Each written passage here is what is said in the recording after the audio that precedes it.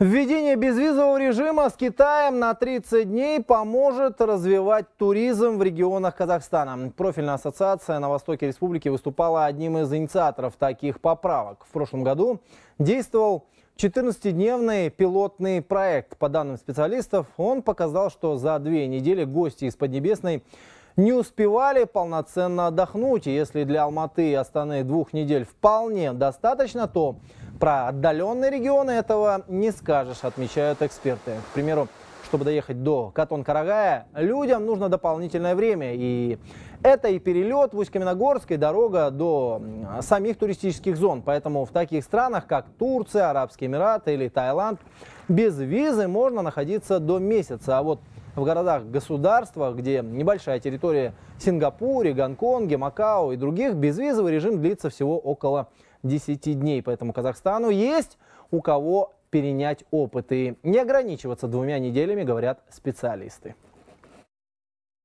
На самом деле, будем реалистами, мы где-то, если э, туристы захотят поехать в регионы, такие как Западный Казахстан, э, э, Центральный Казахстан, допустим, в Каркаралы, или э, Восточный Казахстан, то здесь нужно чуть-чуть больше визового, скажем так, люфта для того, чтобы человек мог бы ехать и не переживать, что, ой, не дай бог, со мной что-то произойдет, я на один день опоздаю, я уже буду нарушителем закона.